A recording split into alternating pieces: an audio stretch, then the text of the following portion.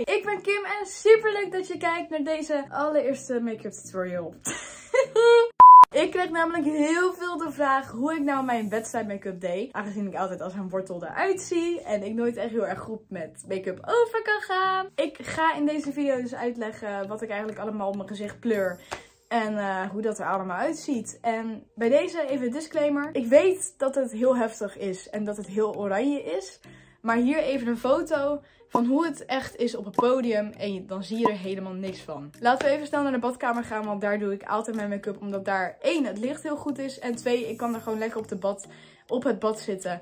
En dat scheelt weer heel veel ingewikkelde dingen. Let's go. Oké, we zitten in de badkamer. De welbekende plek van mij. ja, ik heb hier voor me heb ik allemaal spullen staan. Ik heb hier voor me ook een spiegel. En ik ga gewoon stap voor stap uitleggen wat ik eigenlijk doe. Ik ben echt een sproetenkop, zie ik nu. Wow. Oké, maar laten we beginnen. Oké, we beginnen met uh, concealer. Ik heb er twee. Normaal gesproken doe ik die.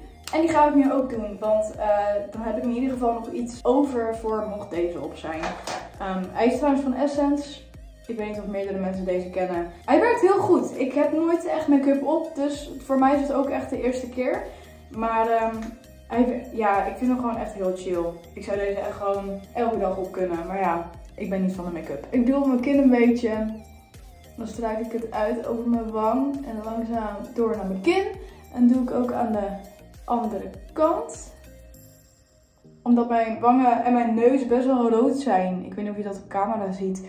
Um, doe ik het hier ook. Zo. En dan gaan we dat er blenden.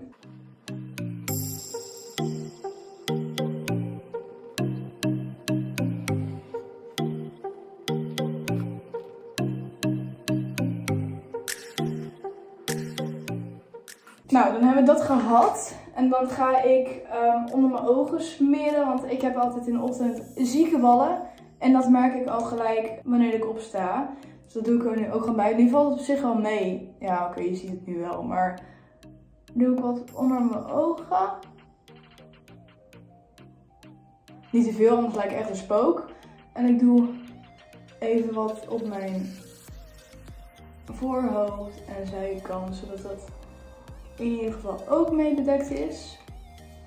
En dan gaan we dat ook weer uitblenden.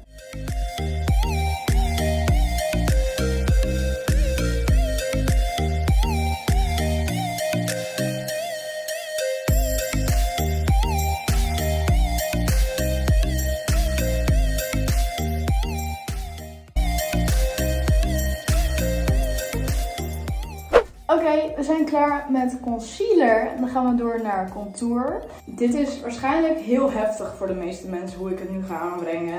Um, ik wil er ook bij zeggen, volgens mij heb ik dat net ook al gezegd. Dit is echt gewoon puur alleen voor mijn optredens. Dus niet voor dagelijks gebruik, want ik draag geen make-up in het dagelijks leven. Dus dit is echt gewoon puur wanneer ik het podium op ga eigenlijk. Um, maar verder contour, ja, spreekt voor zich denk ik. Dit breng ik in het begin heel licht aan.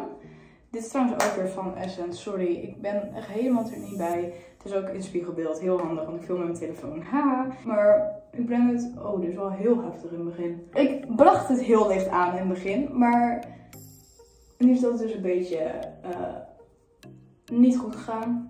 Nou, dat maakt op zich niet heel veel uit. Want met wedstrijden moet het altijd tien keer zo erg. Dus um, op camera is het echt veel heftiger dan dat het in het echt is. En dat meen ik oprecht. Maar goed, dan gaan we ook door naar de andere kant. Hele bad ligt ook onder. Sorry papa mam. Ik maak het schoon. Don't worry. Um, normaal gesproken doe ik namelijk niet heel veel. Zou ik ongeveer dit doen? Ja, op camera is het echt tien keer zo erg. Um, ja, oké, okay, nu, moet ik zeggen dat dit ook een hele vlek is hoor, daar van. Normaal gesproken zou ik het eigenlijk zo doen. Maar omdat ik er iets te veel op heb gedaan. Oh mijn god, zo zie je maar, ik ben geen geboren make-up. En dat word ik ook nooit, denk ik. Um, ja, goed. En ik doe nog wat op mijn voorhoofd erbij. Niet heel veel, want dat gebeurt toch zo allemaal weer niet. Dat was die voor nu. Ik maak het hele bad even vies. Oh my god. Dan gaan we door naar de highlighter. En deze is ook van Essence. Alles is van Essence, dit is echt heel erg. Ik heb dit ook allemaal bij de kruidvat gehaald, trouwens, voordat ik uh, alle wedstrijden had. En ook zo'n kwaste ding. En dat werkt gewoon voor mij prima. Um, lekker klein, lekker compact. Het hoeft geen heel gedoe te zijn om dit allemaal op te doen, toch? Maar goed, um, ik doe dan een beetje erop. Klopt even uit. Even onder mijn benen, want ik heb een lichte broek aan. En dan doe ik gewoon heel licht erboven. En soms dan doe ik even iets meer. Want ja, dat kan dan.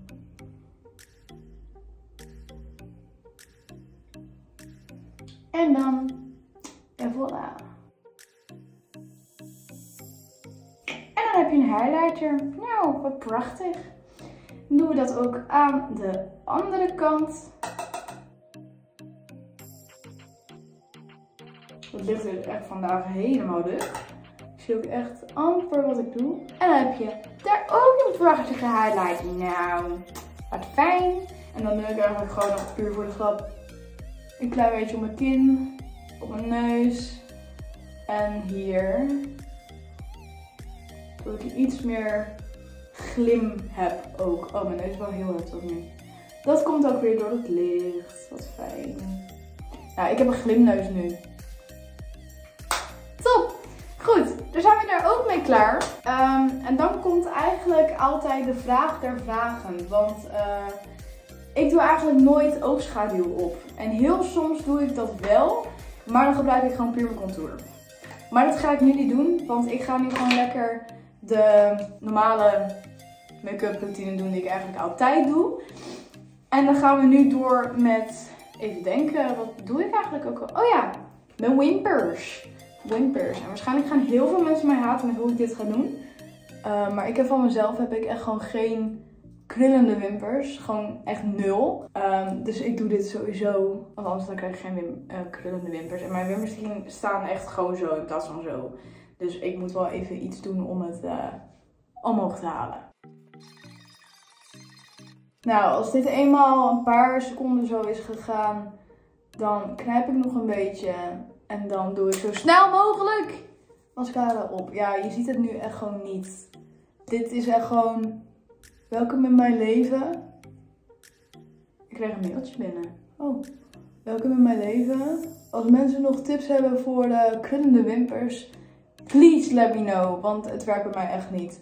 Kijk, het gaat nu alweer gewoon normaal staan. Maar daardoor, daarom doe ik dit ook echt drie keer achter elkaar of zo. Uh, zodat het wel een beetje blijft zitten. Ah, en dit duurt eigenlijk ook altijd het langste. Hier ben ik ook echt altijd het langste mee bezig. Volgende oog. ik moet zeggen, mijn linkeroog die werkt veel meer mee dan mijn rechteroog. Waarom? Ik heb er geen idee. Maar ja, dat is gewoon zo. Kijk, kijk het verschil ook. Ben doe ik hier een klein beetje op. Echt op de puntjes eigenlijk. En dan ga ik er weer heel voorzichtig krullen, want ik weet dat dit heel slecht is eigenlijk. Ik zet ook niet te veel druk, maar het is nat en dan droogt het soort van zo op. En dan uh, hoop ik dat het beter gaat dan, uh, dan net. Maar ik ben er bang voor als ik heel eerlijk ben. Moet sowieso nog een keer.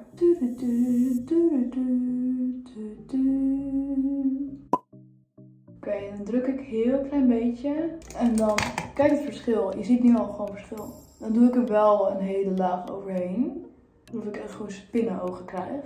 En doe ik hetzelfde bij de andere kant. En ook weer heel voorzichtig druk geven. Niet te veel, want dat wordt echt gewoon... Ik doe echt heel zachtjes ook. Want ik wil niet dat mijn wimpers overbreken, toch? Goed is. Kijk dan. Wowie. De andere nog even. Ik heb gewoon echt niet van mezelf krullende wimpers. En dat vind ik echt, echt vervelend aan de ene kant. Want ik ben echt jaloers op meiden die dat wel hebben. En dan kom ik aan. Oeps. En voilà. En dan eronder.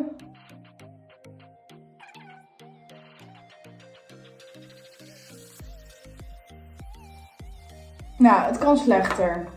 Ik heb erger gehad. En dan meen ik oprecht. Waarschijnlijk dat ik zo meteen nog even snel de wimperkruller er langs ga halen. Maar voor nu is het helemaal prima.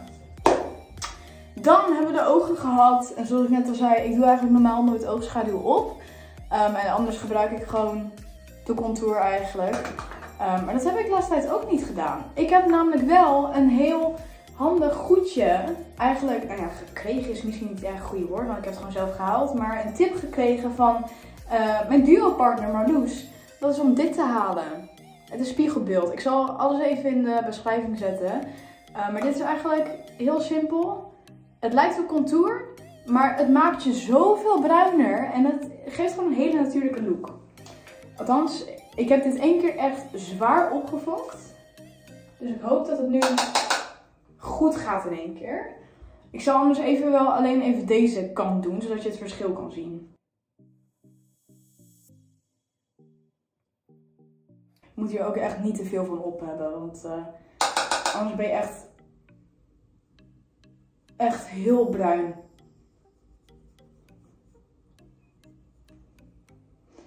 En eigenlijk dat ik hierna pas mijn wimpers moeten doen. Maar zie je het verschil? Het geeft gewoon een hele neutrale look. Ja, moet je nek wel meenemen hoor, daar niet van. Vergeleken dit.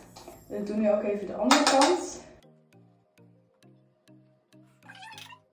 Zie je het verschil? Het is echt heel heftig. En kijk, nu valt de contour ook heel erg mee. Vergeleken de andere kant.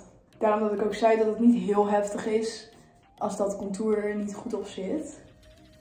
Dan doe ik er natuurlijk wel een laag overheen hoor. Omdat het natuurlijk dansen is. Dus het is altijd tien keer zo heftig. Ik denk dat alle dansers dat wel weten. Als je eenmaal een wedstrijd hebt, dat je dan uh, heel veel make-up op moet. Echt zo'n Barbie pop ben je dan. Goed, nu heb ik ook even meegenomen. Maar check het verschil even. Het is echt bizar. Het is echt insane. Um, en dat eigenlijk alleen maar door een poedertje wat je amper ziet. En eigenlijk had ik nu pas mijn wimpers moeten doen. Maar daar kan je altijd nog bijwerken.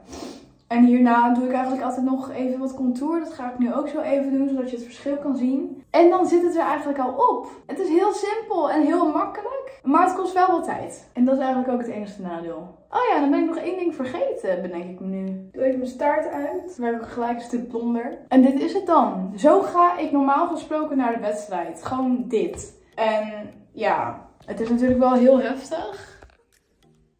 Maar op zich, het, ik heb het best wel netjes gedaan voor deze keer. Al zeg ik het zelf. Ik heb natuurlijk wel echt spinnenogen, dus ja, dat is wel minder, maar goed. En dan heb ik altijd nog deze. En ik vraag eigenlijk altijd aan mensen of mensen dit bij mij willen doen. Want ik ben zo slecht met lipstick. Dat is echt heel erg. Dus ik ga het proberen voor deze ene keer.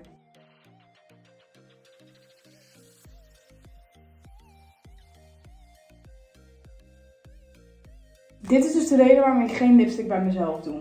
Wat fijn. Heel fijn, Kim. Dit ziet er toch niet uit? Are you kidding me? Wow, ik ga dit echt nooit doen. Dit is dus echt de reden waarom ik het mensen laat doen, dat ik het gewoon echt niet kan.